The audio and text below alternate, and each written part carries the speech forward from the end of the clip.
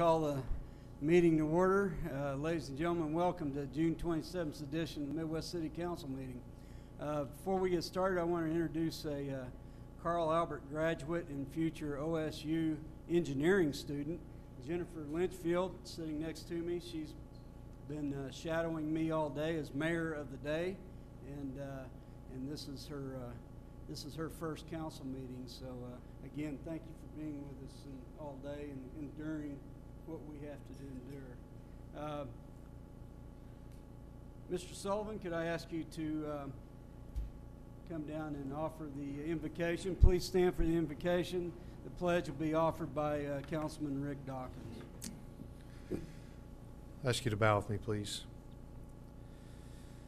Holy Father, we thank you for uh, this beautiful day we've enjoyed today, Father. We thank you for this occasion, uh, these men and women who are serving this city in this capacity of council. Father, I thank you so much for their dedication and their service to this city. Father, the decisions that are before them tonight, uh, I ask that personal agendas be put aside, Lord, and that you'd give them wisdom and discernment. Father, I ask that these decisions be for the good of the whole. Father, we thank you for this wonderful city, state, and this great nation. The freedoms we enjoy, and those who are defending them all over the world tonight. Father, I ask for protection and peace to be upon those who are abroad and those who are at home sacrificing for this great land. Father, I thank you so much for freedom. Ultimately, the freedom that we enjoy from sin through the blood of your Son, Jesus Christ. We ask all these things in his holy name. Amen. Pledge allegiance to the flag of the United States of America and to the republic for which it stands, one nation under God, indivisible, with liberty and justice for all. Thank you, ladies and gentlemen. Um, Can we go around the horseshoe and have any uh, community-related announcements? Uh, We do, uh, do want to remind everybody, the uh, uh, Tribute to Liberty Fourth of July celebration, we uh, conducted uh, next week at the Regional Park or Joe B. Bonds Barnes Park. It's always a big event, and uh, uh, it'll be a- as big, if not bigger, this year than it was last, so. uh, about that, Mayor? Yes, sir, please do. Mayor, this is a great community event, as you well know. Uh, You, you assisted us in coordinating for several years the public safety efforts uh, to make this a safe and fun environment. And it is a team effort by Team Midwest City. Uh, All departments participate in some form or fashion uh, so that this can be a grand celebration. This is our 75th anniversary. Uh, Some special things are planned that will be different. We have some additional food trucks there this year. Uh, we have some wonderful entertainment from Dr. Irv Wagner and his 50 piece stage band that's phenomenal. Extra special fireworks show. And uh, one of the highlights of the evening will be a flyover uh, by the, um, uh, the Warbirds out of Tulsa, who, who also fly during our Veterans Day parade. That'll be between the two bands at approximately 7:45 or 8 o'clock. Uh, Please come and join us and have a good time, celebrate this great occasion uh, here in Midwest City. Thank you, Mr. Sullivan. We appreciate it. It will be a, it's a lot of fun, a lot of fun. And all of y'all have, have passes, so uh, please uh, try to make arrangements to attend. Any other announcements that we need to uh, make? I'd just like to remind everyone that uh, with the Fourth of July next, next week, uh, our sanitation service will be, uh, will be altered somewhat. If you have your uh, sanitation service or recycling uh, that, that's uh, regularly scheduled on Tuesday, uh, that that, uh, that service will be provided on Wednesday. And uh, also wanted to mention that starting July 1st, that our transfer station hours will, um, will change. Instead of closing at 4 PM, we'll be closing at 3 PM. So,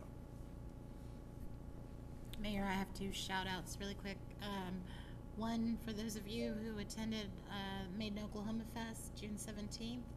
Uh, if you did not make it, hopefully you'll make it next year. It's a great event, attended by a lot of folks, a lot of families. We appreciate everybody's hard work on that.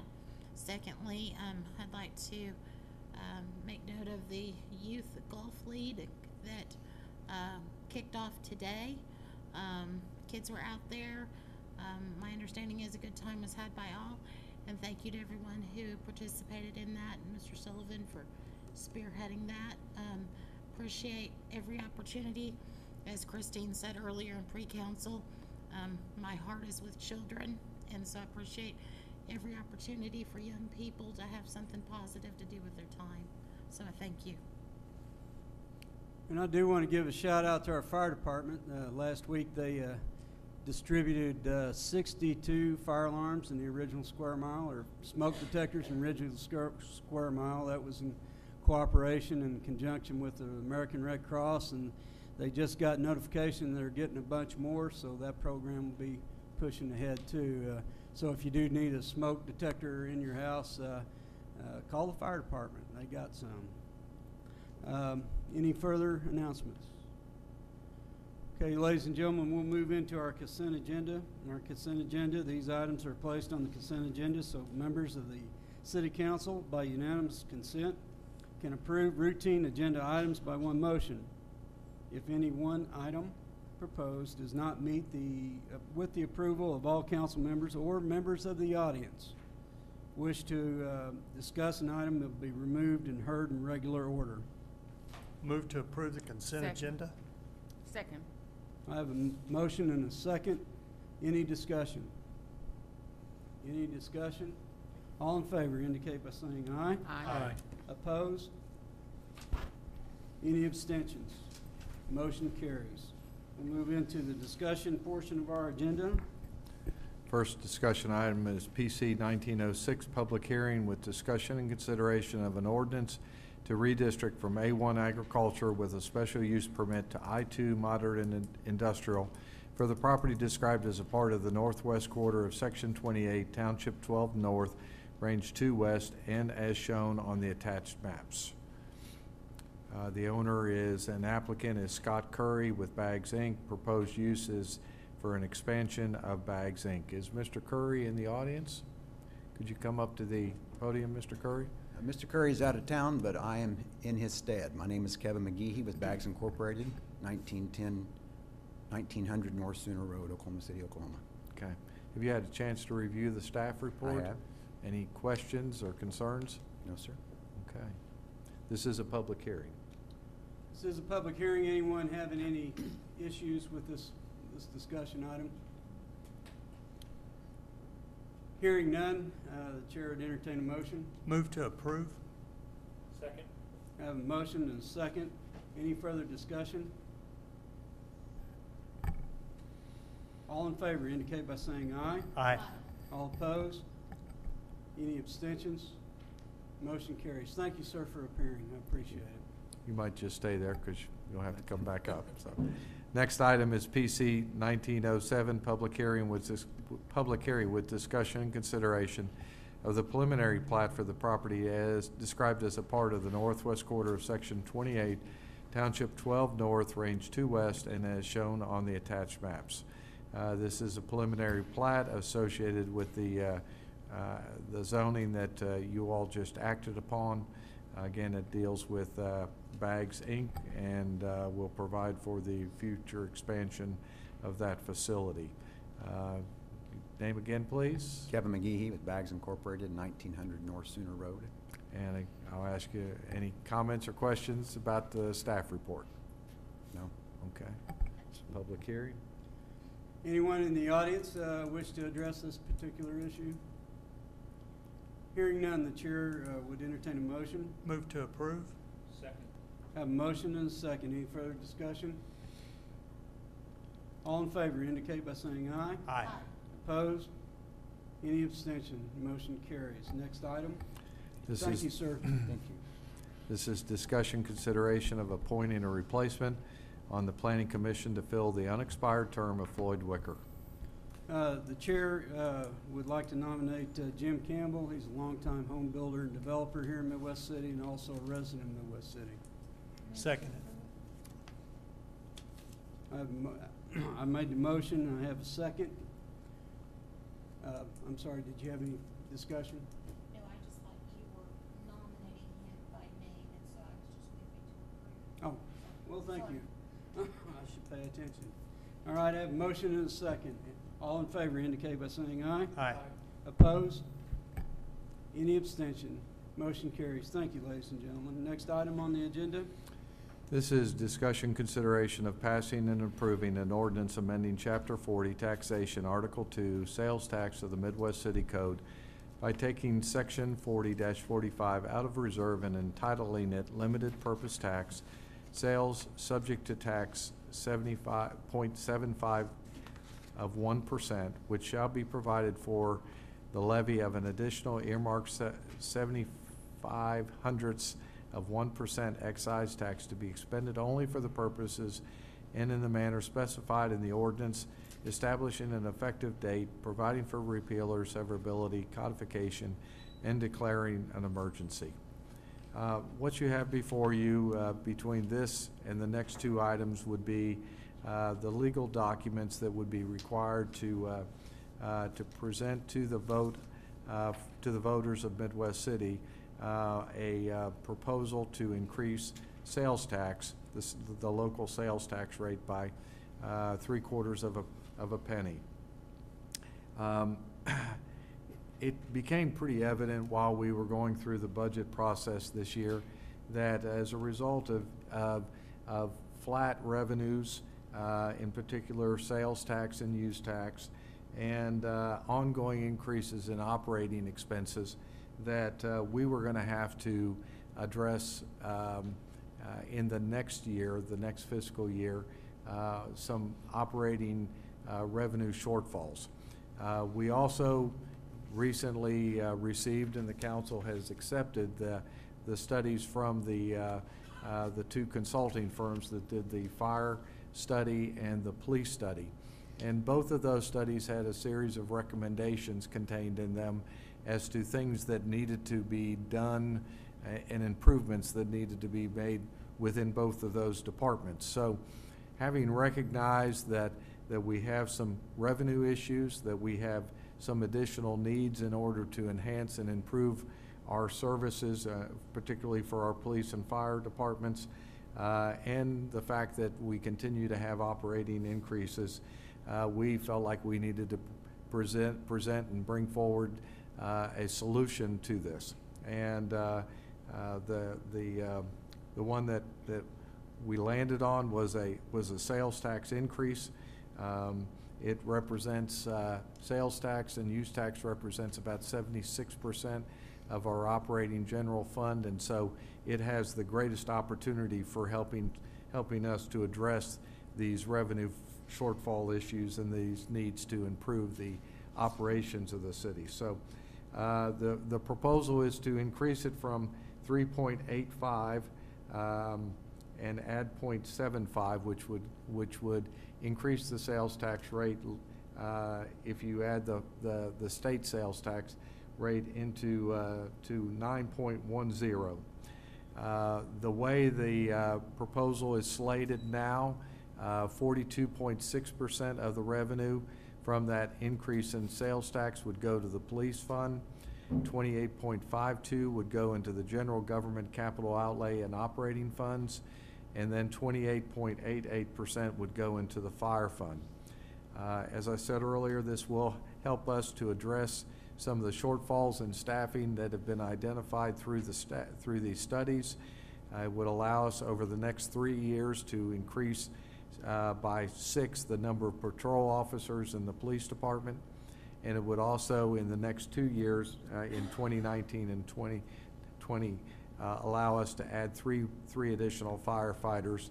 And through the, uh, uh, through the additional revenue, it will allow us to uh, maintain our current operation levels as well as maintain and preserve the, the fund balances that we need to preserve within the, within the different departments. So um, I'd like to go ahead and, and turn this over to Tim Lyon, our Assistant City Manager, and for him to, um, to be able to walk through some of the, uh, uh, the, the, the- the details uh, as to um, our current revenue situation, where we've been at over the last five years, where our expenditures have been, and kind of how we got to uh, this pr- proposal as we, as you see it in front of you this evening. Yes, go ahead and bring it up, Billy. We just have a short PowerPoint presentation that we'd like to, to show the council and, and to the citizens and to the audience, and then we'll have some question and answer time. This is, uh, this is something we've been looking at for really two years as we look out five years and 10 years in our future for the city and how we fund the city and, and what our expenses look like and our capital improvements and, and capital outlay needs. And, and so we've had some concerns for a while because as you can see, we'll start with just looking at, um, pointer going here, council can't see this, but, um, you can see in 2013, 14, going back, looking at five years, that um, revenues, expenses, our revenue is very flat. I mean, it's been down some years, and, and as, we look at the fiscal year we're coming up into, we're really looking at 15, 16 numbers as far as revenue, so we're almost going back two years to fund revenue. But our expenses certainly aren't going down, though they're, our department heads and have done a good job maintaining their expenses, but they can only do that so long, and, and so you can see where we're starting to, um, greatly exceed the amount of expenses over revenue, and so we're, we're heavily eating into our fund balances. And we've maintained over time a ten percent fund reserve in the general fund, and for the police and fire departments, they're required to maintain a five percent reserve. Those reserves are in, in critical times, if we have a tornado come through or some natural disaster that's unforeseen, uh, or a really severe downturn in the economy, that we would have enough money to operate at least for a short period of time. And then the general fund is a greater percentage at ten percent because that is really the only place in the city you have to go to to really gain access to money in, in, in critical times. But if you look at um, the last, well, really, just, there's a little bit of an anomaly here in thirteen, fourteen, and that's because we transferred one point seven million dollars in capital that year because we had, we, we had not had access to capital in the general fund for some time, so it was time to move some money there. But in year sixteen and year seventeen, you can see that we are negative seven hundred and eighty-one thousand, and so that is really the year that, that's the year that we're in right now, this fiscal year that we're wrapping up. So it's still, we still have another sales tax check to go before we, before we, have final number, so there's asterisks up there. But you can see it's a large number that, that we're, um, we're eating into our fund balance this year, 781,000. And then next fiscal year is going to be an interesting year, and, and these numbers are really, it looks like we're only $407,000 um, of expenses over revenue, but the reality is there's, or 646,000, I'm sorry, I think I said 400, 640 thousand roughly, that, um, is expenses over revenue. But it's really a higher number than that because we transferred, as everyone knows, we transferred nine hundred and twenty-five thousand dollars into the general fund to be divided between the general fund operating departments and the police and fire departments.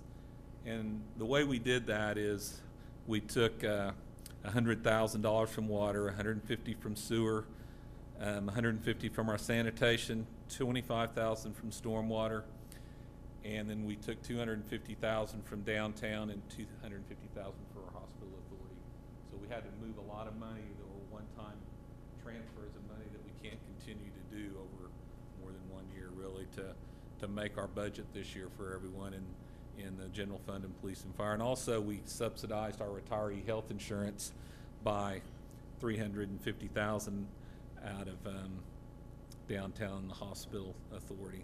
So that kind of sets up for our next slide.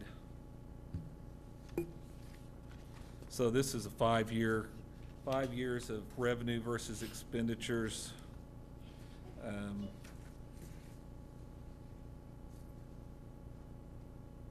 Just for the, for the police department. So the last one was for the general fund. The next one is, is police, and as you can see, Tim- police. Tim, you might talk a little bit about the, the general fund, the money comes into the Okay. general and then it splits out. So through votes of the people and the way the money is divided um, out of the general fund, so we saw the, go back to that original slide. So you can see the, for this next fiscal year, we're gonna have revenue of thirty-seven million, five oh six, expenditures of thirty-eight million, one fifty-two. So sixty-two percent of that revenue is distributed out police and fire departments. Thirty-four percent goes to police, twenty-eight percent to fire, and then the thirty-eight percent remains in the general fund. Okay, next. So we look at the police department. Police is, um, you know, much similar as you, as you looked at, um, the general fund. From their expenditure side, we're experiencing very little growth in the revenue. And our expenses police have held fairly, fairly consistent at twelve million, six, five, six. But for next year, we're looking at twelve million, nine eighty-six, and that is really, that is no growth in any staff personnel. That's just being staffed at the current levels that we have now. So this fiscal year we're in, we're negative four twenty-six is what we're, we're projecting in the police department. And then, um, next fiscal year, they're another negative four hundred thousand. So, um, they're obviously eating into their fund balance very significantly. Next slide. Again, that number, that 2017-18 number for revenues includes the additional money that was put into the general fund. Right, so without that, the revenue at twelve million, five eighty-six has the additional money in the police for, for, um, I'd for revenue for expenses. I'd like to make a comment also, just for clarification. The, the projected numbers for 2017, 2018 also do not include any increased expenses based upon our police or fire study as they're up there currently, correct? That's correct, that's Yeah, correct. there, there's no, no changes to staffing or capital or any of those other items that are critical to the infrastructure. That's, that's correct. So let's look at the next slide, which is the fire department. You're, you're okay. Go back that one. I was one behind you. Fire department's very similar. Looking at, um, sixteen and seventeen, a three hundred and three thousand dollar negative, um, impact on their fund balance of expenditures over revenue. And then this next fiscal year, um, three hundred and forty-nine thousand with this nine twenty-five infused. So obviously, they're, they're getting critical into their fund balances. They're gone down over six hundred thousand dollars in two years. And, you know, you look at, at the prior years and our revenues expenses, we really had, um, we had really done a really good job in our finance department, uh, hitting our revenue projections in the past. But with the downturn in the economy, our revenue is really significantly down this fiscal year versus our projections. And that's really the first time we had seen that level of impact, um, this fiscal year without act, without projecting it. Okay, next. So, um, we talked about, I've kind of gone through what we did by, um, the three hundred and fifty thousand in revenue for the retiree health insurance to help the departments, um, fund a portion of the retiree benefits. One of the changes that we made with the Health Benefits Committee that, that reviews our premiums and how we fund, um, our health benefits plan, one of the, they did make some changes. One of the changes was to transfer the liability and fix it at sixty percent of the retiree paying and forty percent of the, s- of, uh, the city will be paying in the future, but, um, that, you know, healthcare continues to go up at a eight percent plus increase for premiums, so the numbers, number is significant. Stay back on that thing, Julie's rushing me. Um, That's just the amounts that went to police and fire with that nine twenty-five that we talked about for the, that we took from the enterprise funds and from the municipal hospital authority. The general fund, um, kept three fifty-two of it, three hundred and sixteen thousand went to police, two fifty-five went to fire.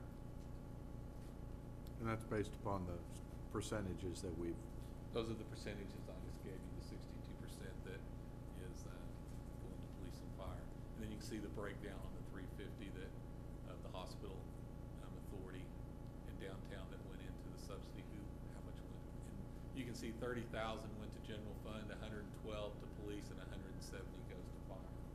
There's a, a much greater number of retirees in our health benefits plan, um, from police and fire than, uh, the general fund. Next slide. Okay, so this slide, we're looking at um, our budget without any revenue enhancements in 2017-18. Um, It's kind of an overview on what would have, what would happen.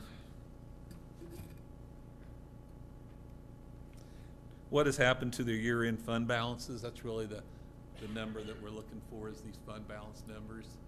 And um,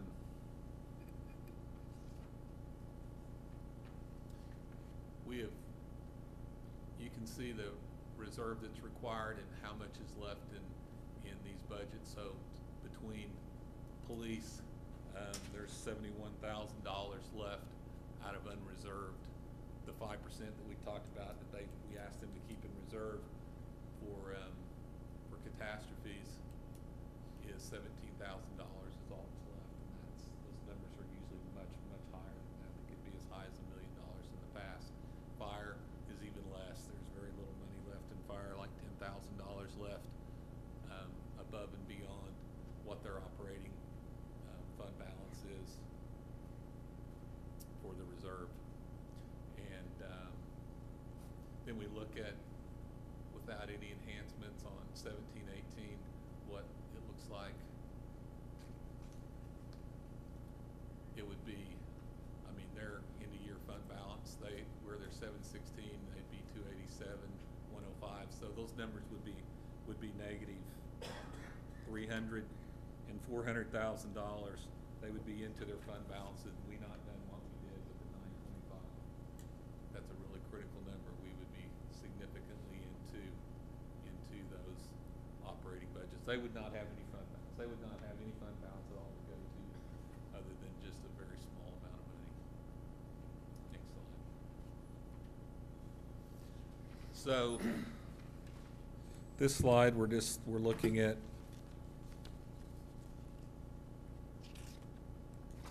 Eighteen nineteen 19 numbers, what happens if we don't have a, a revenue enhancement or an increase in sales tax? Now where we're at in the last slide, we were, you know, we still had a little bit of money in fund balance. We had 280 and 100,000 left in police and fire. Um, next fiscal year, if we don't have a sales tax increase, then we are 700.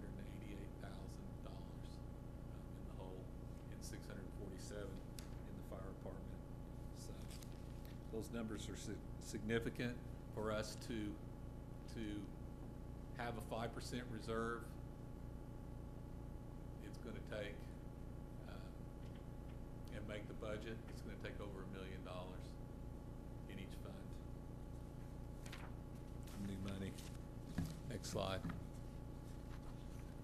So five-year estimate on the general fund, just kind of, if you look at, really you're looking at, um, this would be with the point seven five, what the general fund would look like. And so we would grow revenue in the general fund for the first two years. Year three, it would be pretty much break even of revenue versus expenses. Year four, we're starting to go upside down about 344,000 and then year five, 500 that just shows you, um, the point seven five seems like a, a lot of money, but at the end of the day, it only keeps us operating really for five years. We talk about it, I guess we'll talk about a little bit later, the, the tax that, that's in place. There's a point four oh one five tax in place right now, sales tax for the sewer treatment assuming you ran these numbers lower, correct? Lower increase in tax, that it didn't work out, correct? If we, if we went anything less than point seven five. Yeah, that's a, that's a really good point, um, that Councilman Byrne makes. We did, we, we looked at about seventeen scenarios that, that, um, Christie, our finance, Christie Barron, our finance director, modeled. They modeled data, um, they've been modeling data for weeks. And, um, we looked at 0.645.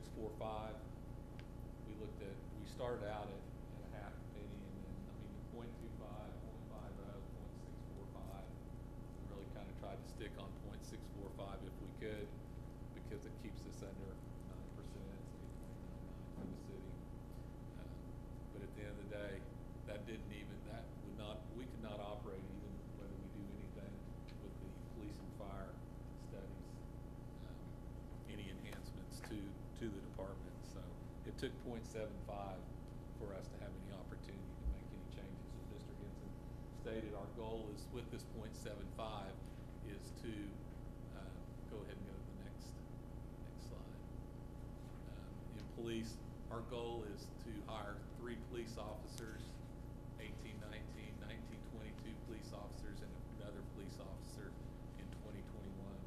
Those are officers that'll be driving, driving the streets in the city. Those are, those are patrol officers. Those are, um, that's where our study said that we had the most need in certain times of the day when we need the need. And so that's where we plug those in, is where we saw the needs from the study. And, you know, you look at, at this, and once again, I mean, we grow, we grow some fund balance for a little while, but at the end of the day, when we get to year five, we're still uh, about three hundred and thirty-seven thousand dollars upside down. So this takes us out five years. It doesn't take us out, doesn't, I mean, we can still operate. Five hundred thousand dollar fund balances approximately for police and fire at that point.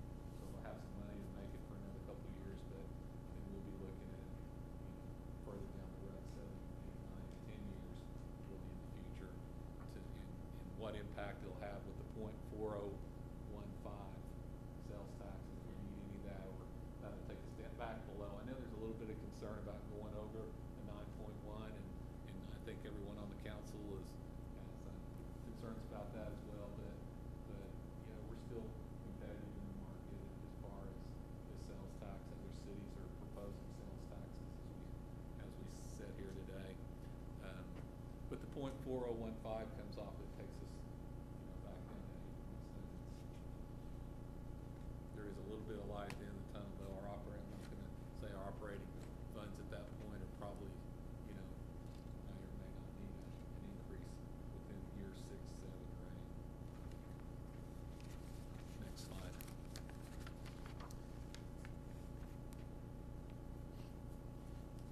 And this is fire, fire is, uh, very similar to police. One thing I do want to point out on fire, so police is three thirty-seven at the end of the five years, starting in eighteen, nineteen, with the, the point seven five. It looks like fire is only eighty-nine thousand dollars, um, upside down by the time we get to revenue versus expenses in 22, 23. But one of the things that's in, in the fire study is that we talked about hiring three more firefighters in uh, nineteen twenty to put on a ladder truck. to have Five firefighters on a ladder truck that gives us greater flexibility to having seventeen firefighters on the fire ground for a fire and leaving us with a, a engine company available for the rest of the city. So it's really important that we, that we have, that we have the three firefighters. But it's also, there's, you know, capital needs in fire are very expensive. Fire trucks, and a ladder truck is nine hundred thousand to a million dollars. A, a good engine is four fifty to five hundred thousand dollars. So the capital is important and, and so really when we looked at that number, I think that the last year, it did not include two hundred fifty thousand dollars for capital in their budget. And so really, I think that number is, is three hundred and forty thousand, not, not, uh, ninety thousand. So that's something we're continuing to work on as we look at, we're trying to look out, like I said, five and ten years and what our capital needs are. Final slide. We went over what our intentions are to do with the point seven five is, is to put more police officers, six police officers, um, on the streets and, and three more, uh, firefighters in a, uh, in a ladder truck.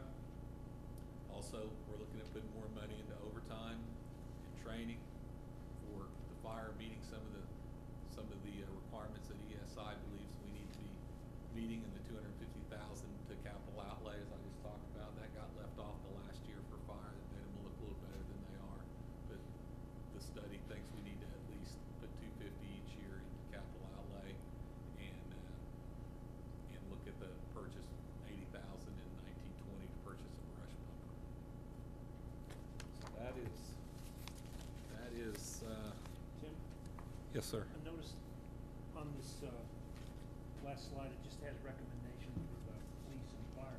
What about the rest of the city and public works and what? Do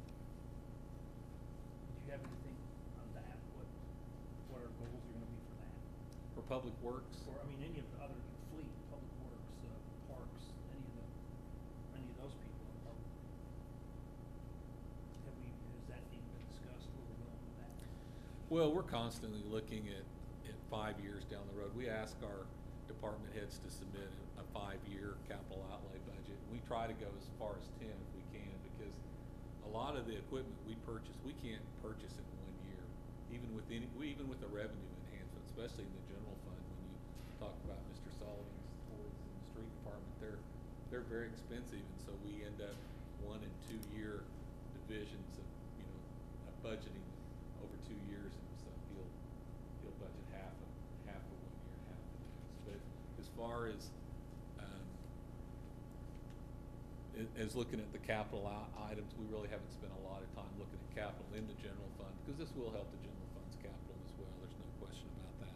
It will give us more opportunity. The point I'm getting at is we're, we're not ignoring that, correct? I mean, we're, No. because we're, we just have the recommendations for the police and fire, but there's a whole nother sector.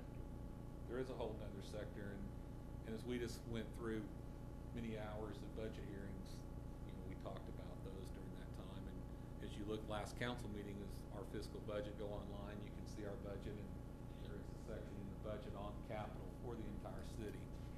The capital was pretty light this year, over on the enterprise side, uh, enterprise side, I will, will say that, um, we, we're, we're very thankful that, that we were able to go to the enterprise funds and, and uh, Mr. Streets and Sullivan, that manage the public works department, they, uh, were, they were able to help us find the money that we needed, but at the end of the day, it really did affect their ability to fund capital outlay.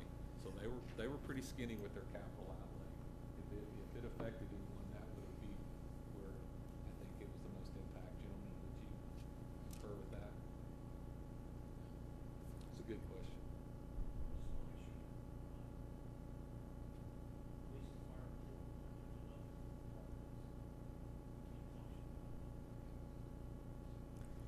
Well, and I think that, that the additional revenue that will enable us to continue to be able to operate at the levels that we're operating now. Will we, will we add, um, additional personnel? We'll, we will evaluate those, those needs as they, as they arise. And, and, uh, when it makes sense, we'll, that's, we will. We're not When we can afford it. right now, but yeah, as we, as the operations grow.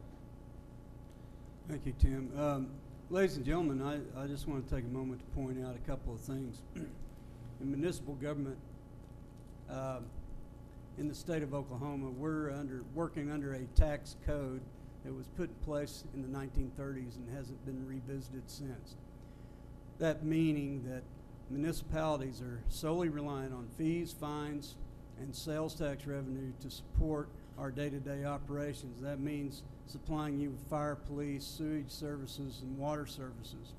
We also gain some, uh, obvious some, uh, revenue from our enterprise funds, meaning the water, sewage, and, and s- stormwater quality that, uh, you see on your water bill.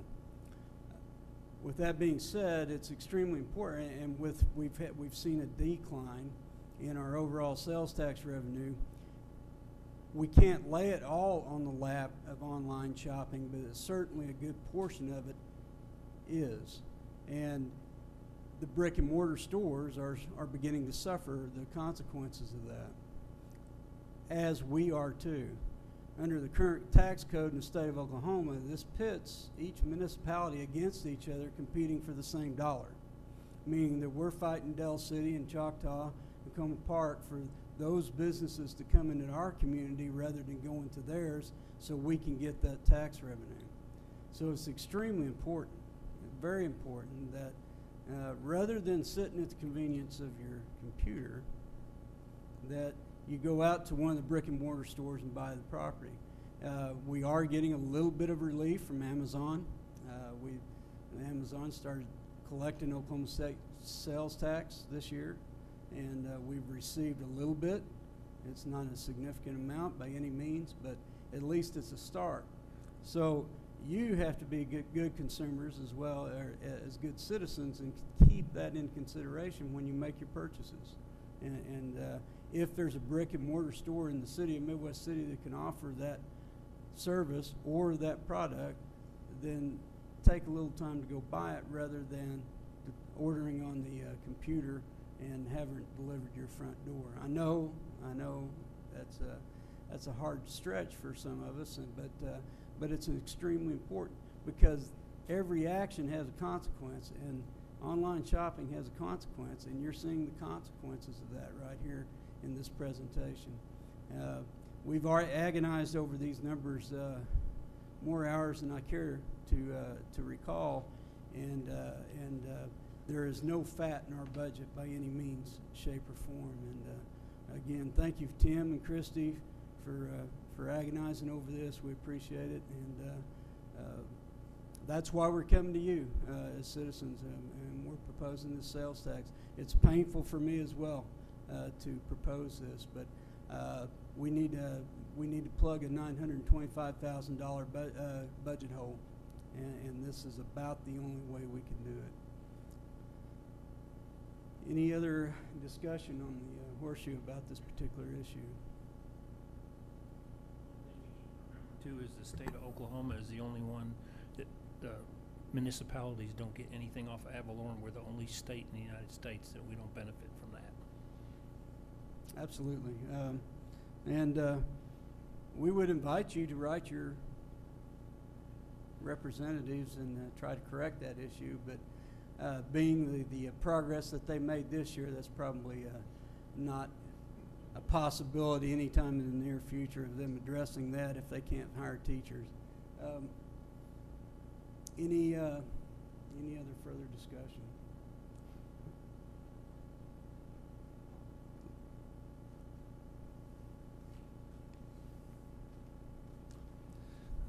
Bob Tony, 116 West Ridgewood Drive, Midwest City.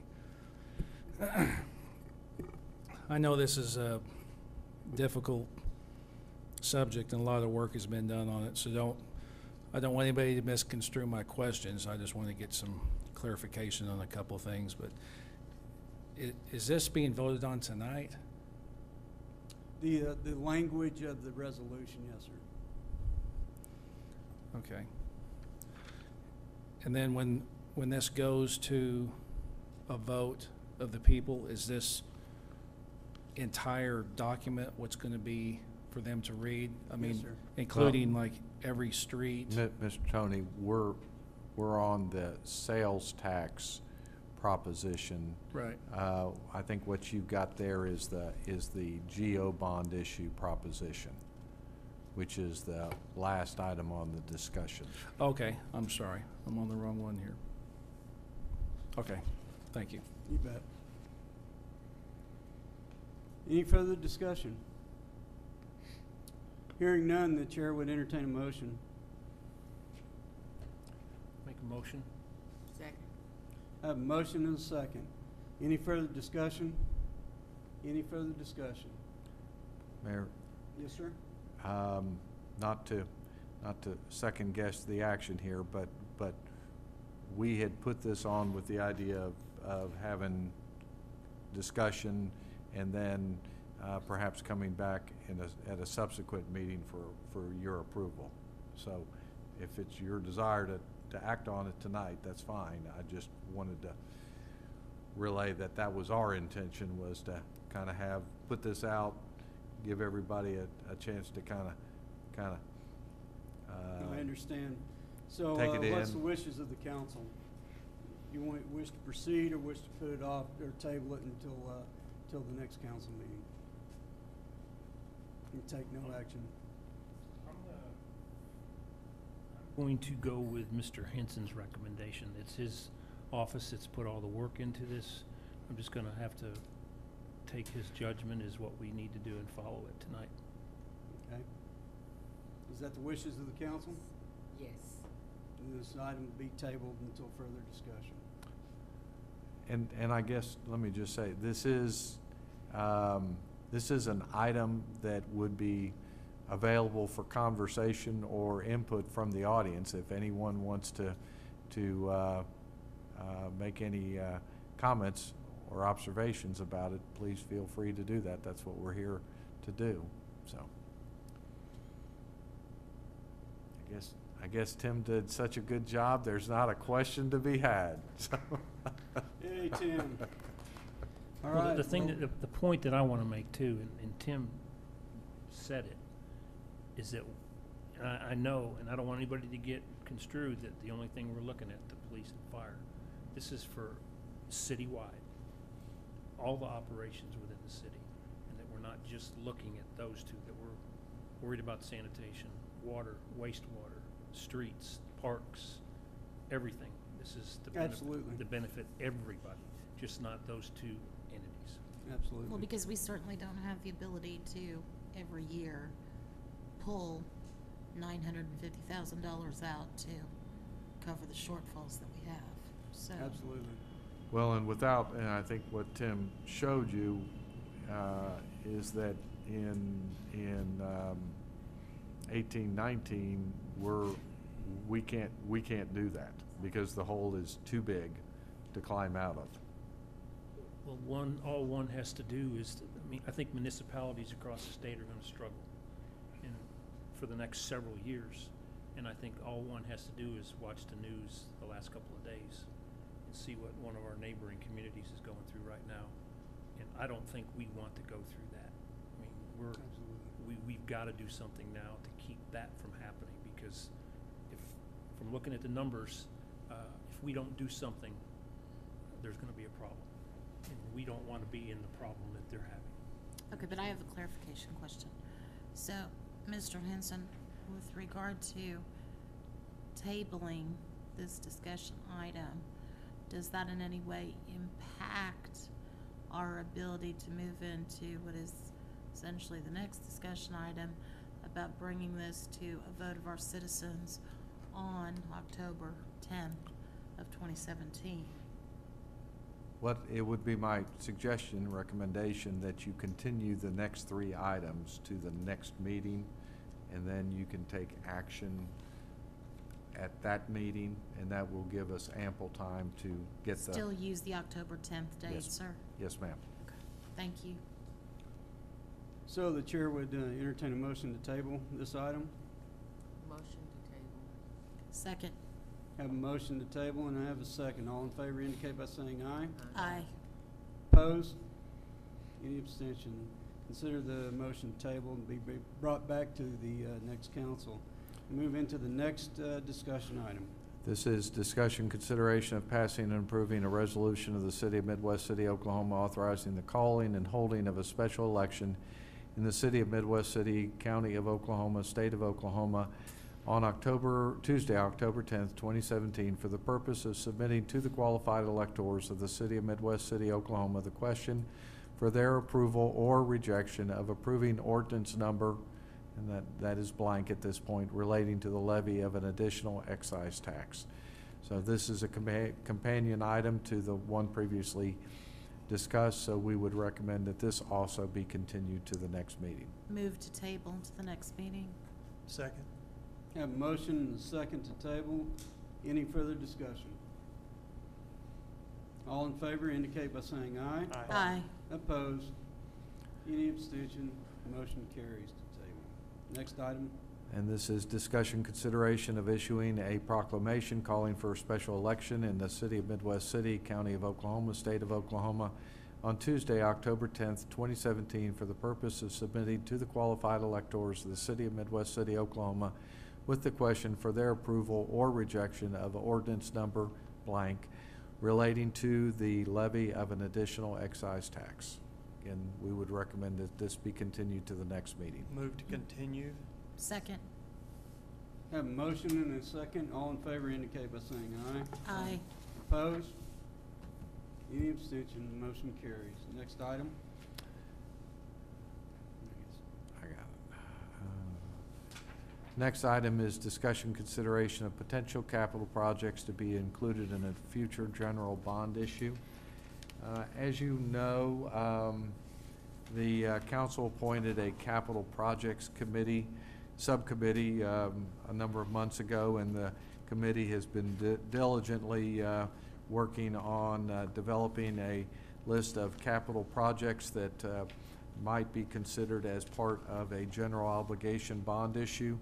Um, And so what I've handed out to you this evening is a, is a legal document which includes the, a, a resolution, uh, which, which contains a, a list of four propositions, uh, which, and, and those propositions uh, contain a number of projects that would be voted upon proposition by proposition, um, that, and would be funded through a, through the proceeds from a general obligation bond issue, which would be paid for by uh, an increase in property taxes.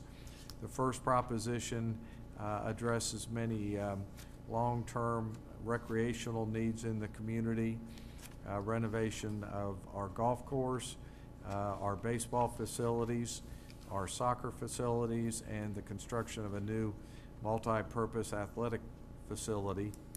Uh, Proposition two includes funds for public safety technology improvements, replacing our police and fire radio systems, uh, fire department suppression vehicles, protective equipment, and related facility improvements, as well as a um, renovation of the police training facility and replacement of our storm siren warning system. Proposition three is a um, long, long list of street, residential street uh, projects uh, totaling uh, nearly fifteen and a half million dollars worth of work. And um, on the, on the proposition, uh, there would be hundred and thirty-eight street uh, projects done, as well as a number of other projects that would be done um, uh, as well. And then Proposition Four has to do with uh, financing the uh, renovation, the Phase One renovation of the booster station on Felix. So uh, this is, these are the projects that came, came out of the committee. Um, No action is necessary on this. We would ask that you all uh, consider continuing this. Uh, We want to provide you some additional information on each of these projects.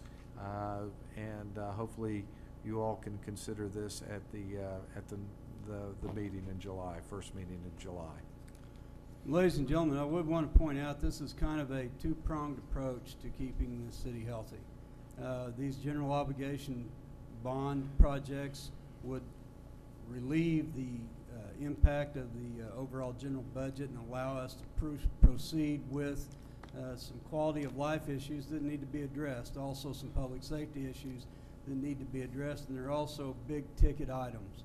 So this uh, is kind of a two-pronged approach by the council and an approach to, uh, to uh, get us healthy on a fiscal level with the sales tax increase and also improve our quality of life within the city by funding these big-ticket items that, that need to be funded, that we haven't been able to move forward with. Um, So uh, again, uh, this is, this wasn't done in a vacuum. We had, actually had a purpose and a, and a method to our madness as a, a two-pronged approach of uh, getting the city healthy physically and also uh, addressing our big-ticket needs. So uh, with that being said, uh, we've got a lot of work ahead of us, and we understand that, and uh, you'll be hearing more about these issues in the upcoming months. With that being said, Uh, Mis- Mr. Tony was wanting to, I think, Okay, I'm talk sorry. about that, this item. Appreciate that. Bob Tony, 116 West Ridgewood Drive.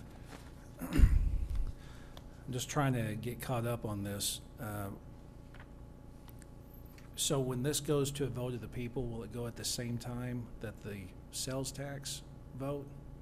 Or or are we going to ask for It- it- both of these it- at the same time? it- that- it- That'll be up to the council to set the election when they want to have Okay. the elections. And then, under Proposition Four, it says the ballots used at the said election shall, shall set out the propositions as stated above, yada, yada. So every one of these propositions can be individually voted for or against, absolutely, yes. okay? That's why they're kind of broke out in public safety, uh, quality of life, uh, streets, and then the water issue. And then is it, is it gonna be, s- I see how it's gonna be stated, but will it, for the voters, will it also have the breakdown for them on the ballot to, s- so they Yes. can see exactly Yes. how the monies are gonna be? Yes. Yes, sir. Okay, I think Uh, that's a requirement by state law. okay. And then, uh, I think this is my last question, and I'll just use, uh, proposition number one, for example. It says the identified projects total is twelve thou, or tw- twelve million nine sixty-four? And the estimated total is, is sixteen-two. Yes, sir. I Yeah. just wonder what, what is the, What we're, we're Difference. allowed to specify how eighty percent of the total, total amount of money uh, is to be spent. And so, in this category, Proposition One, there would be sixteen million, two hundred and five thousand dollars worth of bond issue money raised. And, and what we, what we, uh, uh, what we're doing is specifying how eighty percent of that money is to be used so that there is a little bit of flexibility if projects go short or if they run long. So, um, we'll have to spend at least four million one sixty-four for the renovations of the golf course, but the estimated cost of the golf course project is actually twenty percent higher than that. Do you see what I'm saying?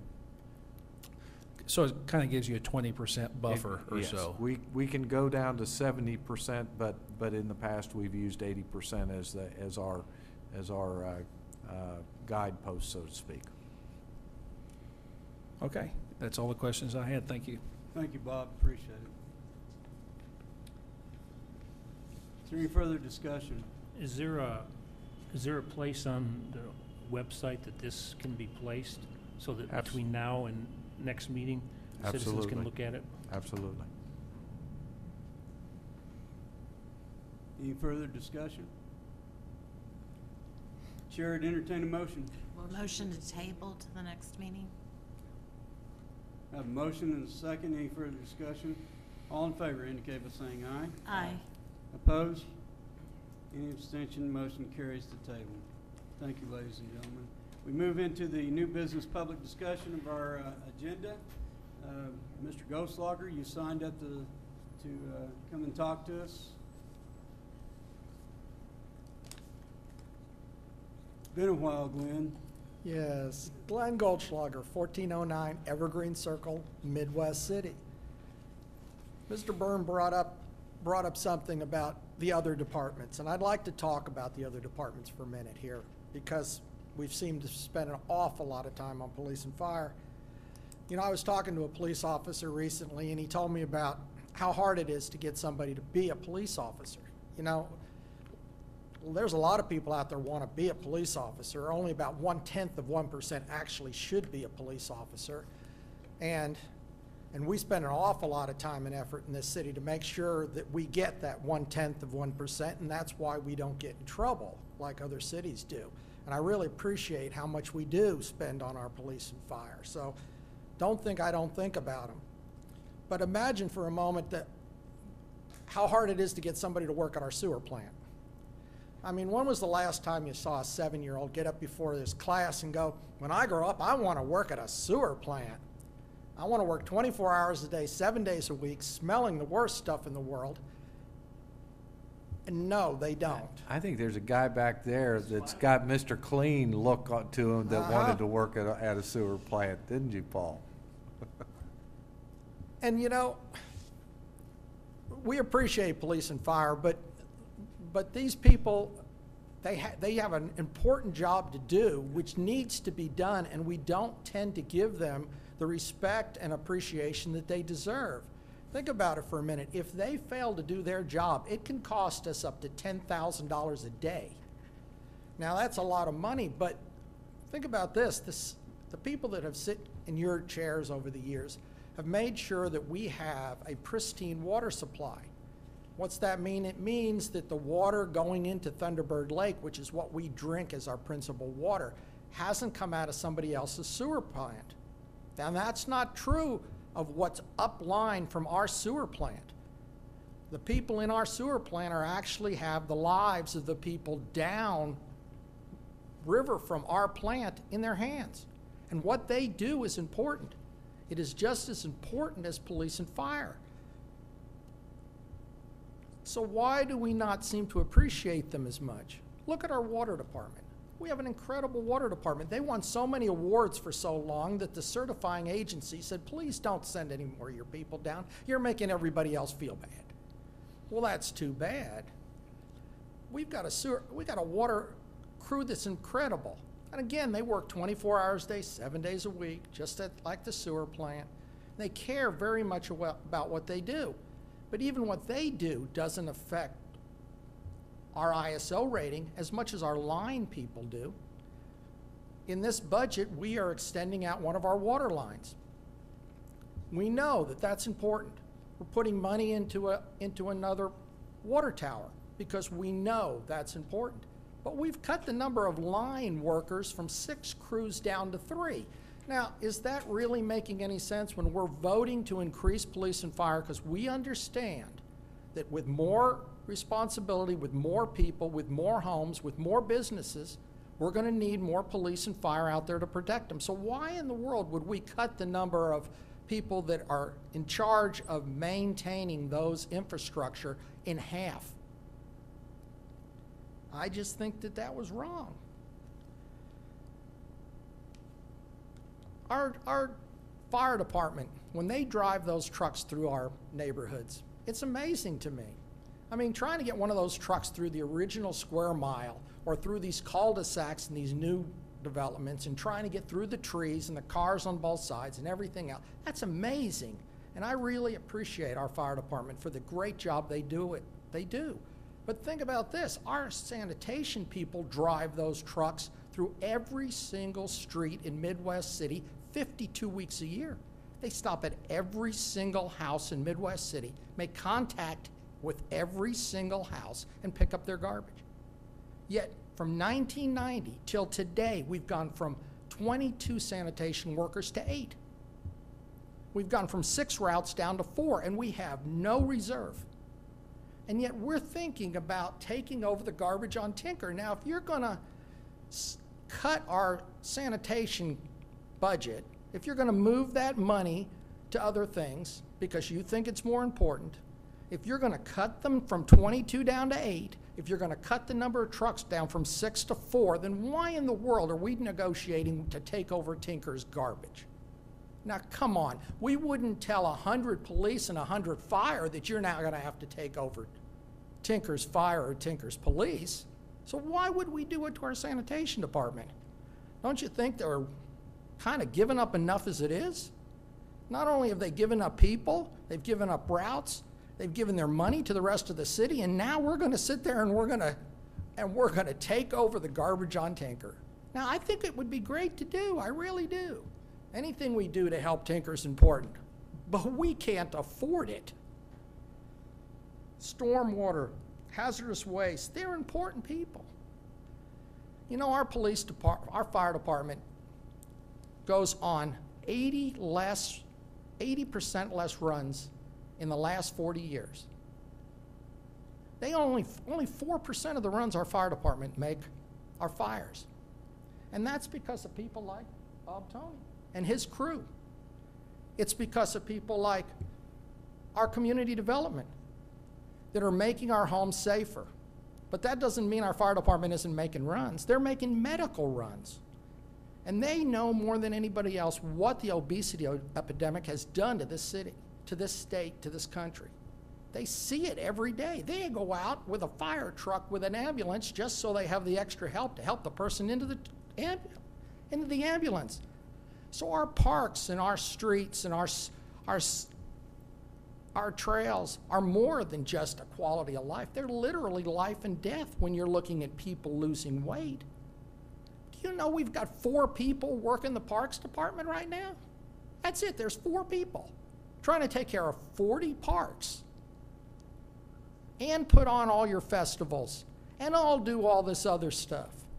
And when I suggested last spring, you know, maybe we don't have the time anymore to do the holiday lights, you said, oh no, we'll do it. Well, we don't, and this is my opinion only. Four people cannot put up a million lights. Four people cannot maintain the holiday lights. Four people can't do that, even if you want to do it. Why not give the Parks Department a break if you want to run them with that small number of people?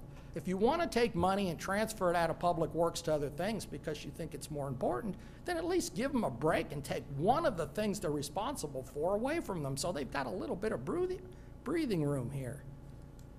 You know, I love pu- Public Works. I love the other departments. We say, we seem to just forget how important they are. It's just all police and fire, police and fire. And, and I love them, but we've gotten to the point in this city where we think that we think that thanks, respect, and appreciation is a finite amount. That if you try to say something nice about any other department, you're automatically taking something away from them. And I'm not. I love our police and fire. Do you know this 75th anniversary is more than just an anniversary for our city? It's 75 years in which our police department's never lost a person. You know, that's really something to say. 75 years. I wish I could say the same about our fire department. And I love these guys, and I want to make sure they get everything they want. But I believe that for all our departments. That's all I have to say. Thank you. Mr. Goldschlager, let me assure you one thing. There's not a person on this horseshoe that doesn't have equal uh, admiration for the other departments in this town. Now, Holiday Lights, for example, is a team effort. It's a team Midwest City effort. Four people don't put up those lights. Mr. Sullivan's group as a whole put up those lights, and volunteers help maintain them during the week. You know that. Uh, four people manage it. You're absolutely right. They manage. They manage. Actually, five people, if you include Su- Susan down at the uh, visitors center. Uh, she's included in that, and we understand that, and we rely on our department heads that if they come screaming for help, we're going to try to provide that help. Through Mr. Henson's assistance, we'll provide the funding. We'll find a way. But we all appreciate, believe me, I get a lot more calls if your toilet doesn't flush and take the bad stuff away than I do if the a police department didn't show up in three minutes. So I'm very cognizant, and as is everybody on this horseshoe, the importance of every four, uh, 438 employees we have in this city. And I've gone, I've taken extra steps since I became mayor to ensure that each employee, regardless, is aptly recognized for their service and appreciated for their service. And, and I will continue to do so as long as I'm sitting in this chair. And I've got six other partners in this process to do as well. I appreciate every time you come down here. Don't get me wrong. And I love the conversations that we have. And I love your commitment to our city. But, and I also assure you that we appreciate the rest of the departments. Unfortunately, the police and fire come to the headlines. They're the headline makers. The folks that are picking up the trash and flushing the toilets and doing all that stuff that we need to happen don't get a lot of the flash. but they're equally as appreciated, and I will pat them on the back every chance I get. And I promise you that, as long as I'm sitting in this chair. Is that a deal? That's a deal. Thank you, sir. Could could I, um, not that I, I want to be a fact checker, but I do want to be a fact checker.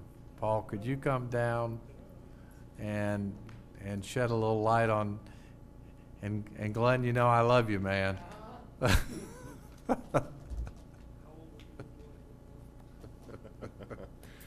Yes, sir. I, I do want to thank Glenn for obviously noting how important uh, both water, sewer, sanitation, stormwater, street department, parks department, that's important, and I appreciate your support as uh, council persons and the mayor. That's not always easy, I know, to make those tough decisions, so I want to start off by saying that.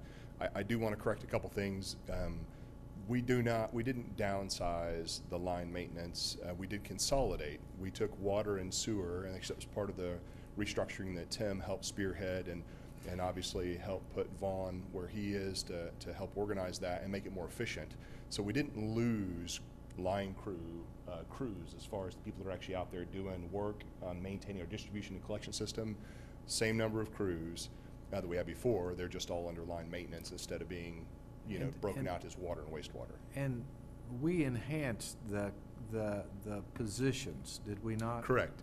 So, so in the Let's past. talk a little bit about that. Absolutely. So in the past, unfortunately, um, they were very, they were quite a ways down on the pay scale. Uh, and, and obviously those, those positions weren't really being paid based upon the certifications they had. And that's no, it's, it, it actually was a coordinated effort between, uh, the assistant city manager and, uh, Catherine Wilson, the HR director and the public works director to make sure that we assess those positions and got them, uh, at a much better, more livable wage.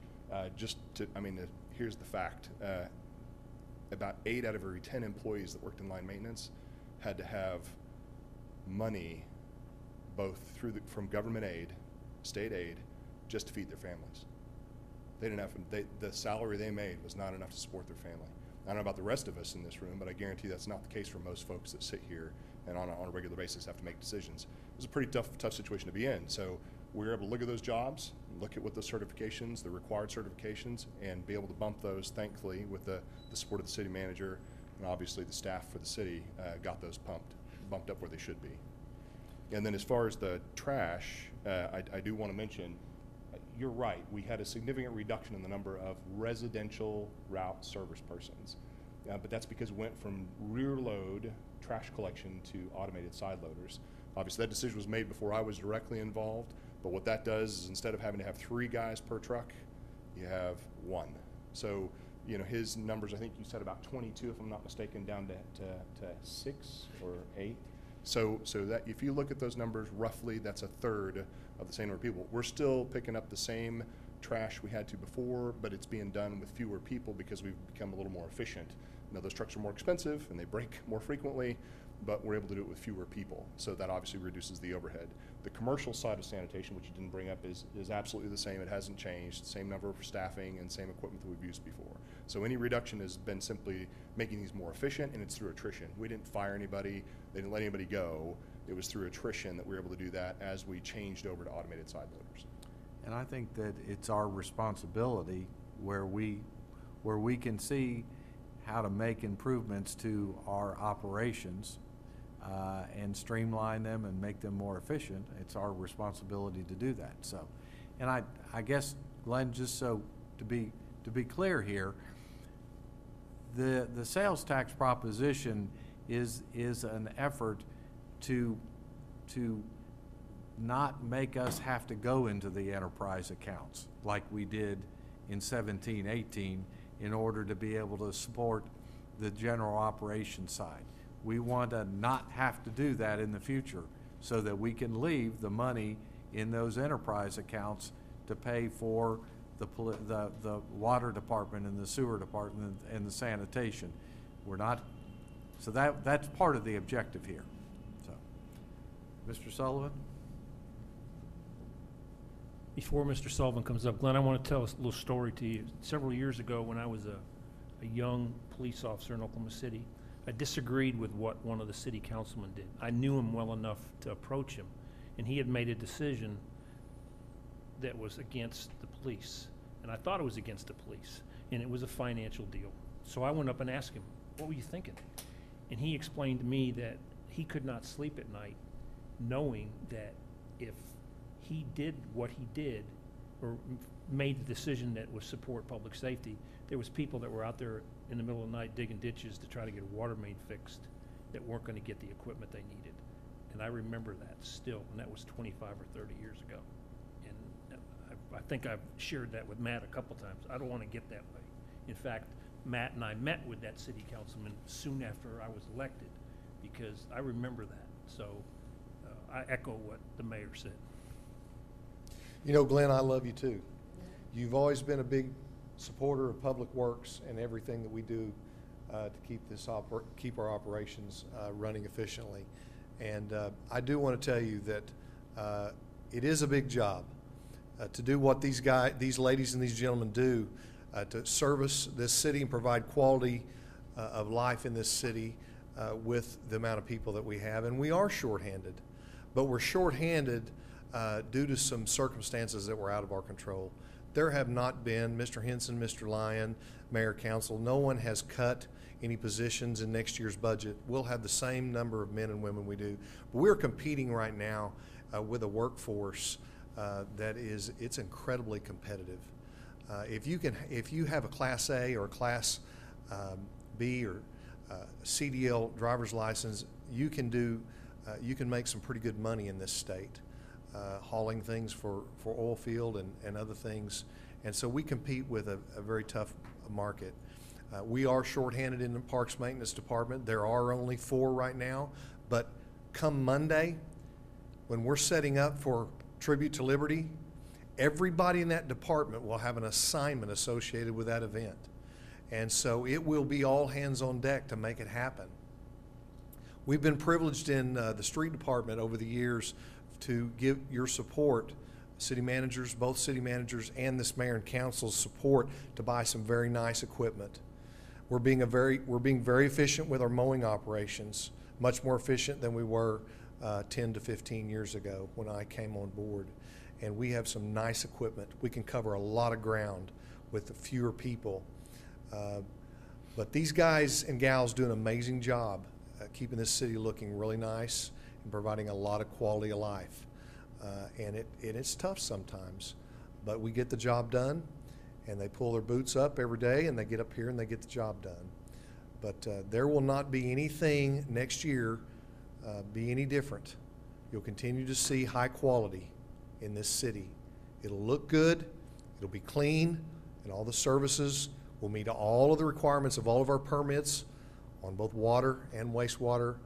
I don't think you'll see any change in the level of service in this city. And one other thing, don't go anywhere. I'm gonna, I want you to answer this question honestly, Glenn. He's my neighbor. I see him pretty regular. He, he's done this before. If I was going down the wrong road, are you shy about telling me? No, sir. Thank you, Ms. Sullivan. Any further discussion from the audience? Yes, sir, Mr. Dawkins. New business. Craig Dawkins, 721 Hunters Run in in Midwest City. Two things, since we're talking about a tax increase and it involves the studies, it'd be great if the studies could be prominently displayed on the Midwest City's website as well. Currently, I think they're embedded in the actual meeting document, and that's it. You have to really kind of search for it.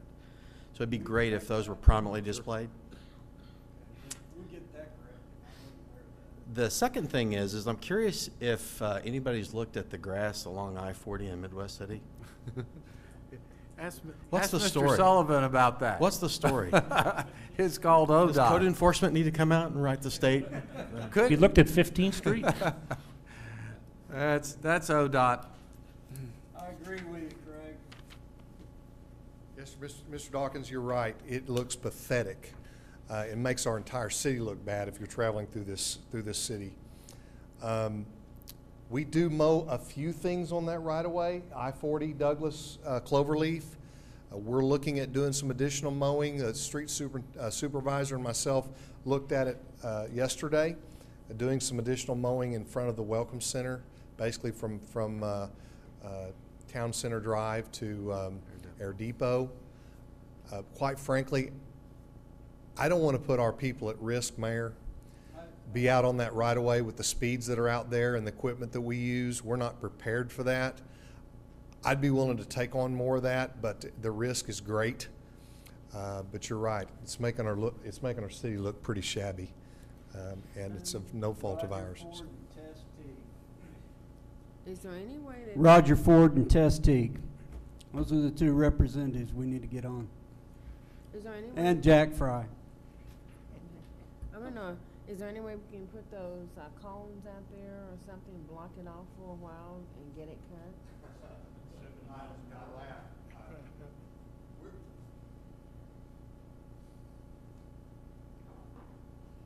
You know, I, I, lo- I love my brothers and, and sisters in the fire department and the police department, but you ask those ladies and gentlemen what it's like to work an accident up on that, up on that interstate. And they have lots of pretty lights and shiny trucks and cars and things that are equipped to be out in that traffic. And we're, quite frankly, in Public Works, we're not prepared to be out in that traffic with anything we currently have. And, uh, they'll tell you exactly how risky it is. is. Huh? Is there anything police department can do? Not on grass. I mean, that- that's I mean, ODOT for, I, no I'm, for- I'm saying for us directing the traffic where it can be taken care of. Since it is the city. Chief, Chief, can you, I- c- the I- the fire I- chief's right up there. He could explain the, what, the- what it takes to- when they send the fire truck You know, out we, there. we lost a firefighter up there several years ago on the curb. And, uh, there's not a, there's not a city employee in this city worth, uh, Mm. getting the grass mowed up there. There's not one. ODOT, that's ODOT's Yes. responsibility. Oh, and- okay. And they, uh, they need to hold up to their Yeah, it's responsibility. Yeah. Well, then And that- we we- need to be we really need to lean on contacting them. So, uh, we'll be making some phone calls tomorrow. Really? Uh, Any further new business or public discussion? Hearing none, uh, we'll go into the further information portion of our agenda. These are items placed on the agenda for your future information. These will be coming back to you in forms of uh, ordinances and recommendations next council if there's no uh, discussion on that. Is there any further discussion? Hearing none, we are hereby adjourned. I now call to order the Midwest City Municipal Authority agenda. Uh, We do have a consent agenda. These items are placed on the consent agenda so that the trustees of the Midwest City Memorial, or Municipal Authority, by unanimous consent, can approve routine agenda items by one motion. If any item proposed does not meet the, uh, with the approval of all trustees or members of the audience wish to discuss an item, it will be heard in regular order. Move to approve? Second. I have a motion and I have a second. Any further discussion? Any further discussion? All in favor indicate by saying aye. Aye. Opposed? Any abstentions? Motion carries. We now enter into the uh, new business public discussion of Midwest City Municipal uh, agenda. Any person in the audience wish to bring any new business or public discussion to the Midwest City Municipal Authority? Hearing none, we are hereby adjourned. I now call to order the Midwest City Municipal, Midwest City Memorial Hospital Authority. Uh, we do have a consent agenda. These items are placed on the consent agenda so that the trustees of the Midwest City Memorial Hospital Authority, by unanimous consent, can approve routine agenda items by one motion. If any item does not meet with the approval of the, all the trustees or members of the audience wish to discuss an item, it will be removed and heard in regular order. Move to approve? Second. I have a motion and a second. Any further discussion? Any further discussion? All in favor indicate by saying aye. Aye. Opposed? Any abstention? Motion carries. We do have one discussion item on this agenda. This is discussion, consideration, and action to reallocate assets, change fund, fund managers, or make changes in the statement of investment policy guidelines and objectives. No action is necessary on this this evening. No action is required on the discussion item. Any further business or any new business anyone wish to bring to the uh, Midwest City Memorial Hospital Authority? Hearing none, we are hereby adjourned. Thank you, ladies and gentlemen, for being here. Have a good night.